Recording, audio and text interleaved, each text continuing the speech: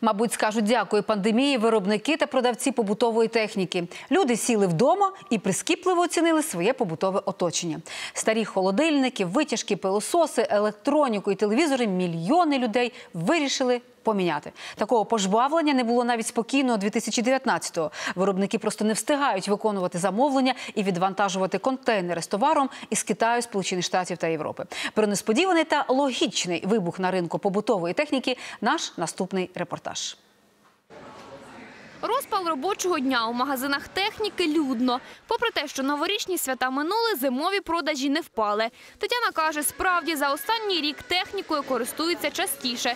І все почалося з весняного карантину. До цього я була переконана, що в мене ну, досить багато різної побутової техніки на всі випадки життя. Хлібопічка стояла в мене три роки, реально, я нею взагалі не користувалася, не було коли. Чим ходити в магазин? Я буду пекти вдома хліб. А потім дистанційне навчання у школі довелося придбати доньці ноутбук і телефон. І на цьому перелік необхідного не вичерпався, каже Тетяна. Треба докупити габаритнішу техніку для кухні. Сюди реально влізе все. Весь мій посуд, який є вдома. У деяких українських торгівельних мережах кажуть, кризового 2020-го їхні продажі зросли наполовину. У березні, коли люди були налякані ковідом, від покупок усі відмовилися. Але вже у квітні магазини фіксували рекорди. Зачинені вдома українці хотіли комфортного побуту, готували, тож купували дрібну побутову техніку для кухні. Потім у квартирах почали облаштовувати домашні офіси. У топі продажів були ноутбуки, планшети, веб-камери, навушники і кавомашини. Тепер люди купують по декілька гаджетів на родину, бо ж онлайн усі вчаться і працюють. В Чорну п'ятницю ми зафіксували дуже великий зріст на міні на роботи пилососи. Е, Під новий рік дуже гарно розпродавалися телевізори.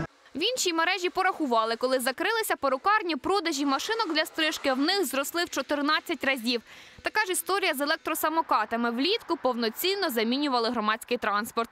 Попри те, що криза виїла кошти в українців і багато втратили роботу, люди знаходили гроші на дорогі товари. Притому частіше розраховувалися за них одразу, а не брали кредит. Ну, Люди почали робити більш зважені, більш продумані вибори побутової техніки та електроніки. Якщо раніше люди купували двохметровий холодильник преміального бренду, то так само вони і зараз купують е, двохметровий холодильник, але менш преміального бренду. Частіше українці купували і вживану техніку. У лідерах ігрові приставки їх брали вдвічі частіше ніж зазвичай. Як і в магазинах, зріс попит на вживані ноутбуки та комп'ютери, але перевагу українці віддавали не портативним, а потужним стаціонарним ПК. Продажі ненової побутової техніки теж зросли вдвічі. Купували не лише дріб'язок, а й газові плити, морозильні камери, мікрохвильовки. У топі покупок також швейні машинки. А ще на карантині українці нарешті оцінили перевагу онлайн замовлень та доставки. Доставка там має бути максимально дешевою і бажано в партнерстві з е, там е, кур'єрською службою, щоб це було максимально дешево. І далі буде тільки вже конкурування. А хто доставить до дверей, а хто посміхнеться при цьому, а хто там ще зробить якийсь бонус. Рітейлери кажуть, цьогоріч тенденції збережуться. Ми більше купуватимемо онлайн. Але попит очікують на товари, придбання яких українці зазвичай відкладають. Це посудомийки та кондиціонери.